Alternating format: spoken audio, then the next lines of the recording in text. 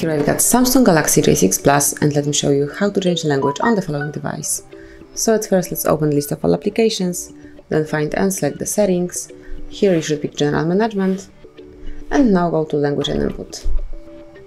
Then go to the language, so it's the very first tab and to switch the language just click on Add Language, then pick something that you would like to apply. So let me pick for example Italian and then pick the region. And you can set a default right now. Actually whichever would be at the first place you can swipe them would be a default one. But I will leave Italian right now.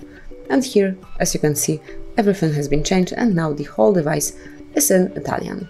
Then whenever you would like to go back to English or some other language to your native language whatever just click on language and input pick language and click here to delete, select the language that you would like to get rid of, confirm it by tapping on OK, and within a couple of seconds you will be back in English or some other language, whichever you chosen. So that would be all.